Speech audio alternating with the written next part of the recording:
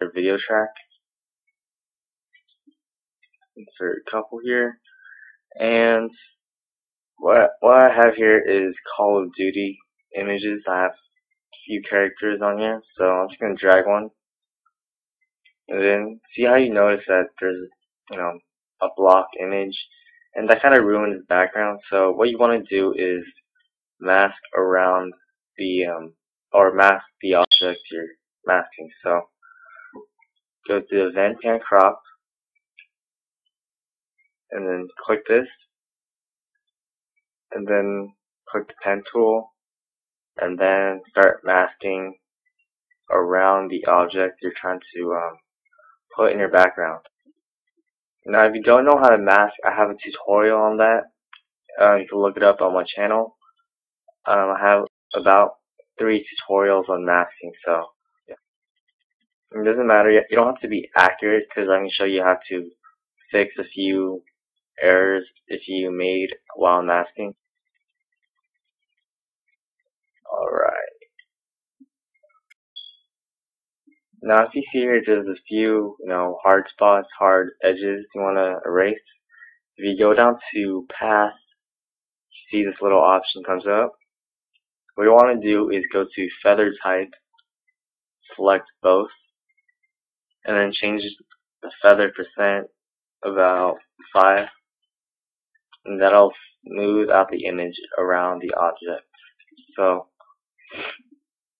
and if you want to move uh, your image around, you can use this by track motion, which is this tool right here. This little window pops up, and basically what you can do is you can move it around any way you want. You can even rotate it.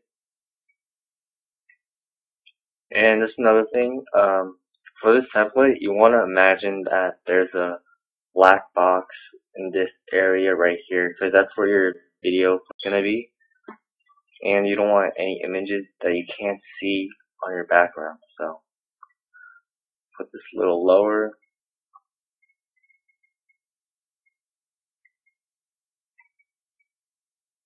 and if the image is too big for you um, you can always go to event pan crop and still in masking mode you can click this little top keyframe right here and that'll revert it back to the uh, pan crop window.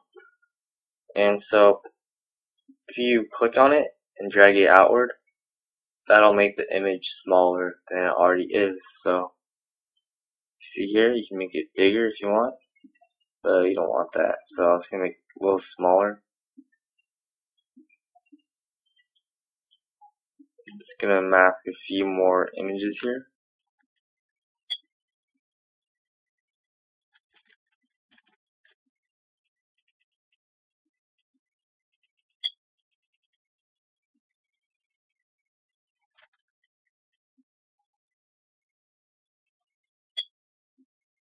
Alright, so now um, we're just gonna add a background texture to the um, background. So you want to place this little texture here at the very bottom. Um, the thing is, this little template is blocking the way of this um, texture. So what you want to do is, if you want to keep the, oh, let's zoom in here. If you want to keep these black lines in your background, you can uh, go to Video FX, go to Chroma here, and select any option, drag it to your template, and then put the color all the way to white. And that'll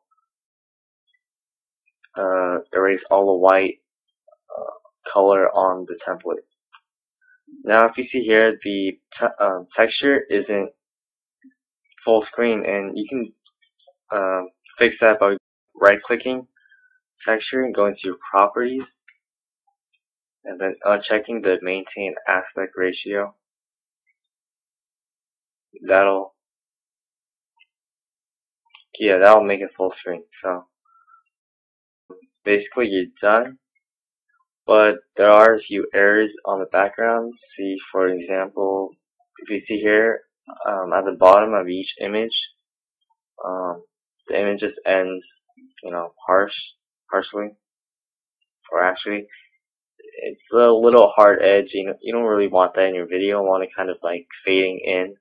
So you can fix that by going to Cookie Cutter in your video effects, and going to Diamond Center Blurred.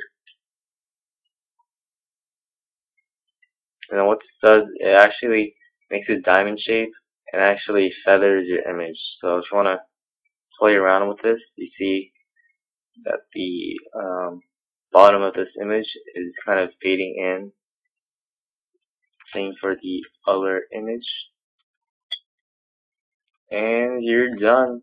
Um, basically, all you need to know is how to save your image. So, if you go here, make sure before saving your image, make sure that it's set to best and full. And then after that, click this, save, or actually save, sorry, snapshot to file, click it, go to desktop, name your picture, Call of Duty background, save it as a JPG, save it,